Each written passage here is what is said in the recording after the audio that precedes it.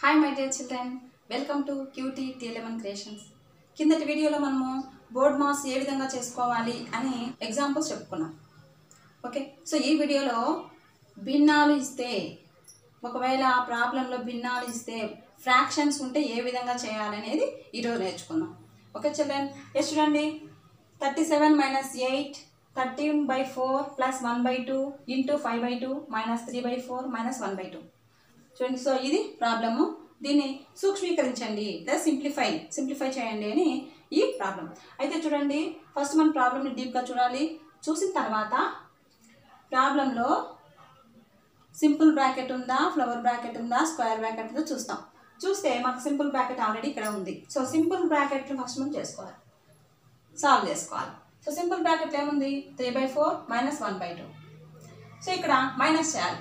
ఇది చేసుకోవాలి. తీసివేట్ చేయాలంటే నాలుగు రెండింటికి కసాక్ కనుక్కోవాలి నాలుగు రెండింటికి కసాక్ కనుక్కుంటే రెండు రెండ్ల రెండు ఒకట్ల సో కసాక్ వచ్చేసి రెండు రెండ్ల నాలుగు.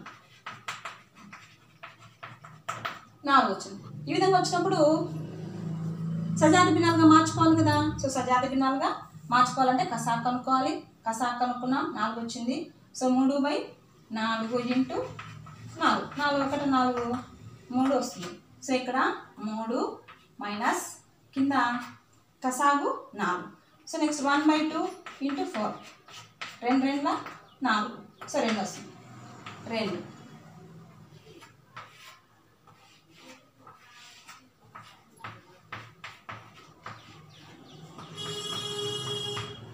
సో ప్రాబ్లం అంతా కూడా ఈ విధంగా రాసేసుకున్నాం. So next three minus two three minus టూలోంచి so three minus two అంటే one by four minus five by two so ఇది ఫ్లవర్ బ్రాకెట్ ఇవ్వండి. One by two plus thirteen by four into eight minus thirty seven so ఇప్పుడు మళ్ళీ flower bracket చేసుకోవాలి. Flower బ్రాకెట్లో కింద హారం రెండు నాలుగు ఉన్నాయి. సో రెండుకి కసాగలు పుట్టే నాలుగు వస్తుంది. సో ఐదు బై రెండు ఇంటూ నాలుగు.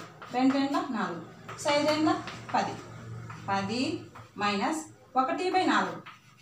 ఇంటూ నాలుగు. నాలుగు ఒకట్ల నాలుగు. సో ఒకటి. ఇది ఫ్లవర్ బ్రాకెట్లో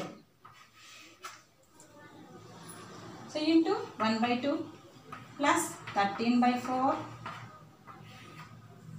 Eight minus thirty seven. Next flower బ్రాకెట్లో ten minus one so nine minus four flower bracket one by two plus thirteen by four eight minus thirty seven so ఇప్పుడు ఈ రెండింటికి మనం గుణకారం చేయాలి. తొమ్మిది ఒకట తొమ్మిది నాలుగు రెండుల ఎనిమిది. తొమ్మిది బై ఎనిమిది ప్లస్ థర్టీన్ బై ఫోర్ ఎనిమిది మైనస్ ముప్పై ఏడు. సో ఇప్పుడు ఈ స్క్వేర్ బ్రాకెట్లో ఉండే ఈ నాలుగు ఎనిమిదికి మనం కసా కనుక్కోవాలి. కసా కనుక్కుంటే నాలుగు ఒకట్ల నాలుగు రెండ్ల. సో నాలుగు ఇంటూ రెండు ఎనిమిది. ఎనిమిది కసాగు వచ్చింది. సో ఇప్పుడు ఎనిమిది సజాతి భిన్నాలుగా మార్చుకుంటాం. మార్చుకుంటే ఎనిమిది. సో పదమూడు బై నాలుగు. ఇంటూ కసా. గుణిస్తున్నాం నాలుగు రెండ్ల ఎనిమిది పదమూడు రెండుల ఇరవై ఆరు సో ఇరవై ఆరు ప్లస్ తొమ్మిది బై ఎనిమిది. తొమ్మిది బై ఎనిమిది ఇంటూ కసాగింది ఎనిమిది ఒకట ఎనిమిది. సో తొమ్మిది ఒకట తొమ్మిది. తొమ్మిది. ఎనిమిది మైనస్ ముప్పై ఏడు. ఇప్పుడు ఈ స్క్వేర్ బ్రాకెట్లో ఉన్న ఇరవై ఆరు ప్లస్ తొమ్మిది ముప్పై ఐదు బై ఎనిమిది. ఇంటూ ఎనిమిది మైనస్ ముప్పై ఏడు. సో ఎందుకు ఎందుకు? ఎనిమిది ఒకట్ల? ఎనిమిది ఒకట్ల? క్యాన్సల్ చేసినాము. సో ముప్పై ఏడు మైనస్ ముప్పై ఐదు ముప్పై ఏడు నుంచి ముప్పై ఐదు పోతే ఇజ్ ఈక్వల్ టు రెండు. సో ఈ విధంగా ప్రాబ్లం చేసుకోవచ్చు. సో అర్థమైంది కదా? భిన్నాలు ఇచ్చినా కూడా మనం ఈ విధంగానే బోర్డ్ మాస్ రూల్ని అనుసరించు చేసుకోవాలన్నమాట. ఓకే చిల్డ్రన్ అర్థమైంది కదా? ఎస్ చూడండి twelve divide by one by two plus zero point five into five by two minus two so first board marks rule ప్రకారం మనం ఫస్ట్ చేయాల్సింది డివిజన్ సో డివిజన్ అంటే చూడండి పన్నెండు డివైడ్ బై ఒకటి బై రెండు. సో పన్నెండు డివైడెడ్ బై ఒకటి బై రెండు అంటే పన్నెండు ఇంటూ ఒకటి బై రెండుకి గుణకార విలువను తీసుకుంటాం కదా? అప్పుడు ఏమవుతుంది రెండు బై ఒకటి అవుతుంది. అంటే కింద ఒకటి వేసుకున్నాం ఒకటి వేసుకోకున్నాం ఒకటి. సో పన్నెండింట్ల ఇరవై నాలుగు. సో ఇక్కడ ఇరవై నాలుగు ప్లస్ ఇక్కడ చూడండి గుణకారం చేసుకోవాలి. గుణకారం చేయాలంటే ఇవి రెండు లవాలు రెండో గుణకారం చేస్తాం హారాలు రెండో గుణకారం చేస్తాం. కింద ఏమీ లేదు జీరో పాయింట్ ఫైవ్కి అంటే కింద ఒకటి ఉన్నట్టు మనకి లెక్క. సో కింద ఒకటి ఉన్నట్టు. సో రెండు ఒకట్ల? రెండు. ఇదేం వేసుకోవాల్సిన అవసరం? మనకు అర్థం చేసుకోవడానికి చెప్తున్నాను నేను. సో నెక్స్ట్ ఈ రెండు కూడా గుణకారం చేసుకోవాలి. Zero point five into five. ఐదు ఐదు ఇరవై ఐదు. సో జీరో పాయింట్ ఫైవ్ అంటే ఒక స్థానంకి ముందర బిందు ఉంది. కనుక మనం కూడా ఇక్కడ ఒక స్థానానికి ముందర బిందు పెడతాం. So two point five minus two so ఇప్పుడు ప్లస్ చేసుకోవాలన్నా ముందు మైనస్ చేసుకోవాలన్నా. ఇప్పుడు వీటన్నిటిని మనము యాక్షన్ చేసుకోవాలి. యాక్షన్ చేసుకోవాలంటే కసాగు రెండు కదా? రెండు వేసుకున్నాం. ఇరవై నాలుగు.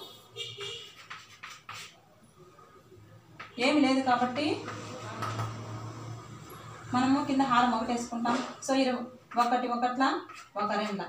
సో ఇరవై నాలుగు రెండ్ల నలభై ఎనిమిది. నలభై ఎనిమిది plus two point five by two into two వేసుకుంటాం. ఫైవ్ బై టూ ఇంటూ సాగు టూ వేసుకుంటే రెండు ఒకట్ల రెండు ఒకట్ల so two point five. Two point five minus two. So ఇప్పుడు నలభై ఎనిమిదికి టూ పాయింట్ ఫైవ్ రెండు పాయింట్ ఐదుని మనము కూడుకోవాలి. రెండు పాయింట్ ఐదు కూడాలి. సో మనకు పైన ఏం లేదు కాబట్టి జీరో వేసుకుంటాం. అడిషన్ చేస్తే ఐదు పది ఐదు. సో యాభై పాయింట్ ఐదు. యాభై పాయింట్ ఐదు బై రెండు మైనస్ టూ. ఇప్పుడు రెండు చేత యాభై పాయింట్ ఐదుని భాగారం చేయాలి. ఎస్ యాభై పాయింట్ ఐదుని రెండు చేత కొట్టువేతలు కొడదాము. రెండెండ్ల నాలుగు రెండైదుల పది. పాయింట్ అలాగే పెట్టేస్తాం. రెండెండ్ల నాలుగు రెండైదుల పది. ఓకే చిల్లన్ అర్థమవుతుంది కదా? Twenty five point two five.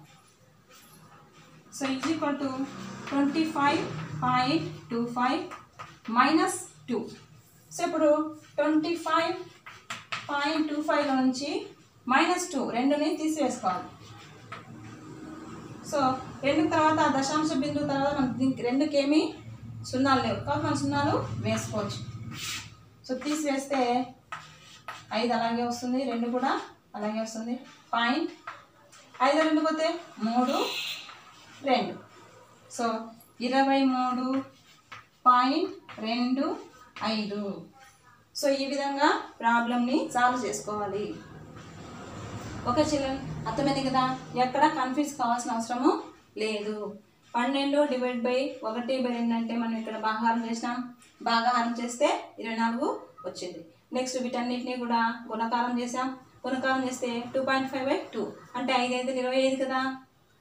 వేసుకున్నాం by two minus two. Next ఇరవై నాలుగు plus two point five by two. వీటికి రెండింటిని కూడా మనం సజాతి భిన్నాలుగా మార్చుకొని అడిషన్ చేసినాం కూడిక చేసినాం. చేస్తే యాభై పాయింట్ ఐదు బై రెండు వచ్చింది మైనస్ రెండు. యాభై పాయింట్ ఐదుని రెండు చేత కొట్టువేతలు కొట్టినాం. లేదా భాగించినాం. భాగించినా కూడా ఇరవై ఐదు పాయింట్ రెండు ఐదు వస్తుంది మైనస్ రెండు. మైనస్ రెండు చేస్తే ఇరవై మూడు పాయింట్ రెండు ఐదు వచ్చింది. సో ఈ విధంగా మనము బోర్డ్ మాస్ రూల్ ప్రకారమే ప్రతి ఒక్క లెక్క కూడా సాల్వ్ చేసుకోవాలి. ఓకే చిల్డ్రన్ సో ఈ విధంగా టాపిక్ అంతా కూడా మీరు అర్థం చేసుకోవాలి. ప్రాక్టీస్ చేయండి. ప్రాక్టీస్ చేస్తే ఈ ప్రాబ్లమ్స్ అన్నీ కూడా ఈజీ అవుతాయి okay children thank you bye.